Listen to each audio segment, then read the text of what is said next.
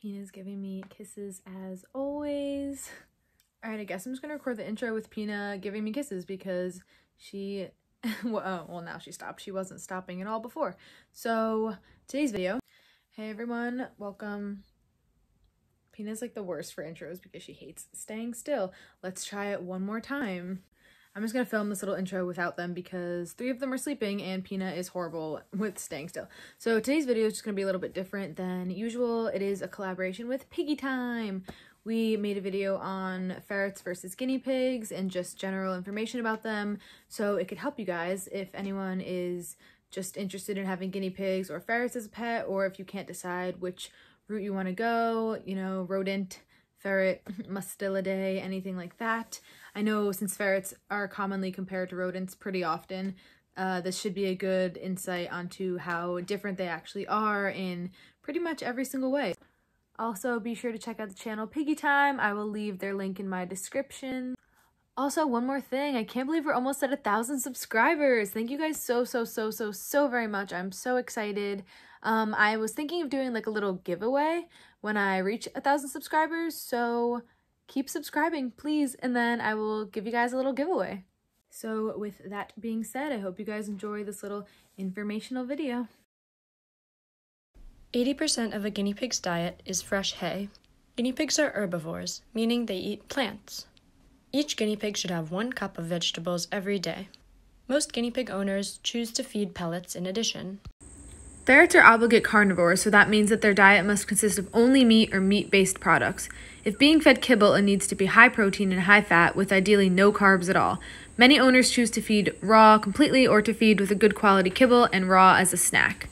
A good treat for ferrets would also be this soup, which consists of warm water, chicken, quail, raw eggs, and salmon oil.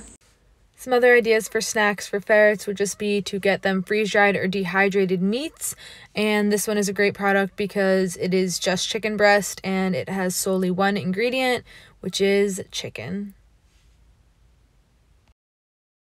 Most cages sold in pet stores are way too small and therefore unsuitable.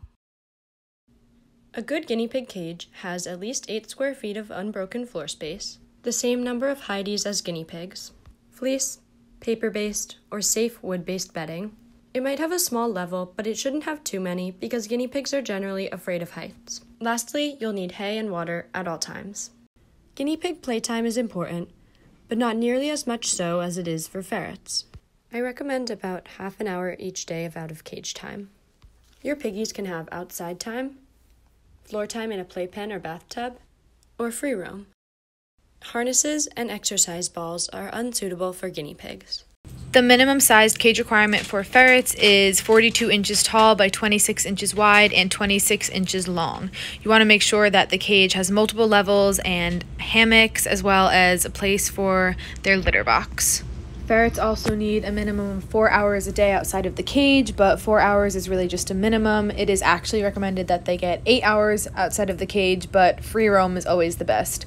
They also need lots of toys and space to roam around and play. Guinea pig baths are a heavily debated topic, but we believe that you should bathe your guinea pigs two to four times a year to keep them safe and healthy.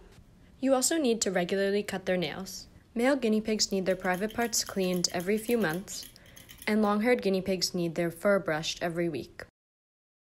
Ferrets actually do not need to be bathed very often at all.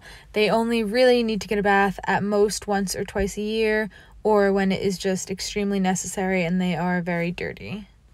Many people will try to bathe their ferrets to get rid of the ferret smell, but actually overbathing will make them produce more oils and they will actually smell a whole lot worse. If you do need to bathe your ferret, however, the best way is to just put some oats in a sock and soak them in the oat water rather than using any shampoos. However, ferrets do need to have their nails trimmed every few weeks, and the easiest way to do this is to just put a little bit of salmon oil on their bellies and have them lick it off, and while they're licking it off, you just trim their nails. A guinea pig's average lifespan is around 6 or 8 years. Because guinea pigs are prey animals, they like to hide their illnesses. While this is very helpful in the wild, in captivity, it can make it very difficult for you to know when your guinea pig is sick.